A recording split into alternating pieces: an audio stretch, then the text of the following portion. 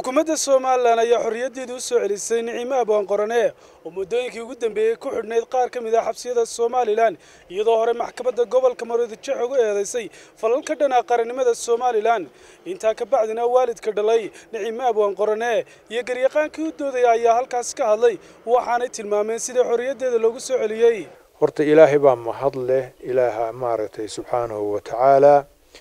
dee inantayda intuu xabsi geliyey oo saddex bilood iyo barh ku xidhnayd maantana xorriyaddeedii u soo celiyey ilaahay baa mahaddaa leh ka hore mahadda ilaahay baa iska leh arrintuna waxay ku timi un dee waa qadarka alleh oo waxaana way qadarayd waxay hees baa odhan jirtay waa maadaysa dunyada dadkuna way matelayaan marka horta ilaahay baa qadarka waxaan xukumay bini aadmiguna ficilkun bay fulinayaan oo ilaahay baa u diraya taasi waa taa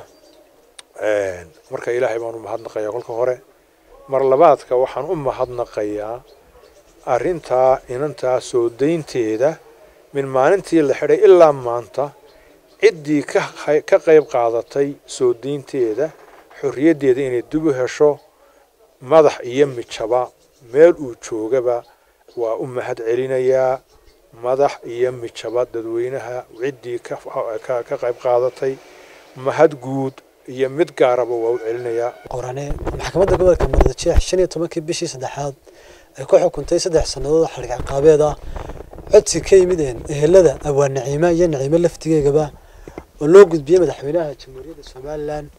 غيرتو مدحونه كتشوابي عدسي جين هلا ذا أبو النعيمة وحرم ما أنت نعيمة إن صوب حي جوان كي حريدة دلوقس علني نعيمة ما تحبسي قبل اللي قصوا دايرنتي وحنا إن أدو جمها علينا إن مدحونها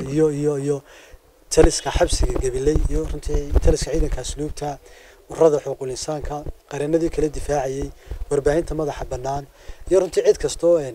af iyo iyo adinba kaga qayb qaadatay sidii ay abwaan naciime axmed ibraahim. U heli lahayd xorriyaddeeda. Marka maanta maasha allah inantii waxay shifeynale xorriyaddeedii waananu mahad celinaynaa madax. Ismaan axmed ismaan star t v hargeysa